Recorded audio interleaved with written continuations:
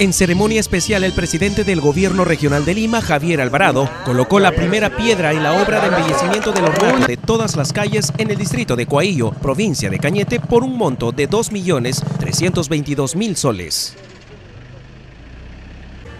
Por un periodo de tres meses y 15 días, la empresa Consorcio Lima Sur se hará cargo del proyecto Mejoramiento Integral del sector de Coaillo, que consiste en la construcción de pistas y veredas, así como la colocación de señales informativas de sus avenidas pavimentadas.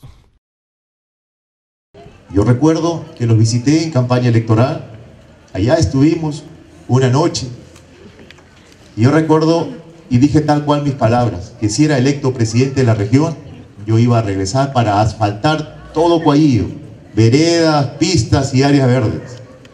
Hoy estoy aquí, queridos hermanos de Coaillo, para honrar mi palabra. A partir de este momento se inicia la obra que va a permitir asfaltar veredas y áreas verdes que tanta falta les a Coaillo. Una promesa más hecha realidad.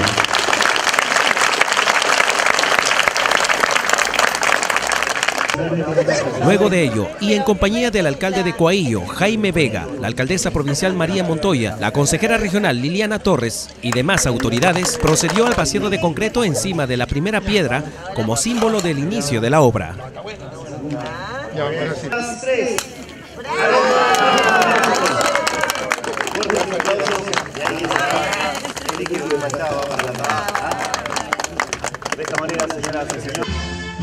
Durante la actividad, el presidente Javier Alvarado también aprovechó la presencia de los niños que integran la Escuela Regional Deportiva en Coaillo para entregarles sus uniformes y materiales de trabajo para que optimicen sus habilidades durante los entrenamientos. Para que suden la camiseta en esta oportunidad